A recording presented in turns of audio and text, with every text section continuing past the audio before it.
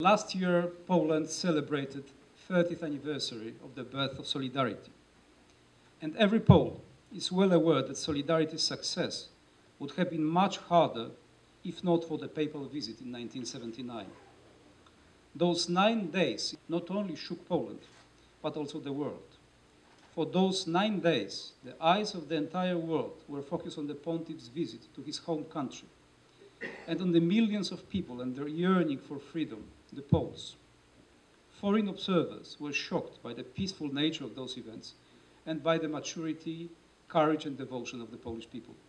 As recent events suggest, our mission of freedom across the world is not yet complete, be it in Belarus, in, Cuba, and in many places in the world that crave for freedom and democracy. May this movie remind us the responsibility to carry the message of freedom with which Pope John Paul II inspired us and which transformed Poland, our region, and the world.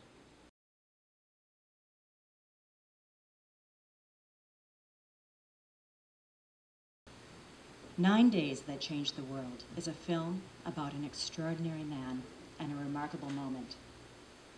In 1979, the Soviet Union seemed permanent and unchallengeable.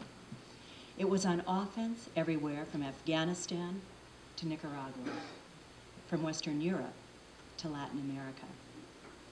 One man came along at a decisive moment and changed the historic pattern from tyranny to freedom and from secular atheism to faith in God.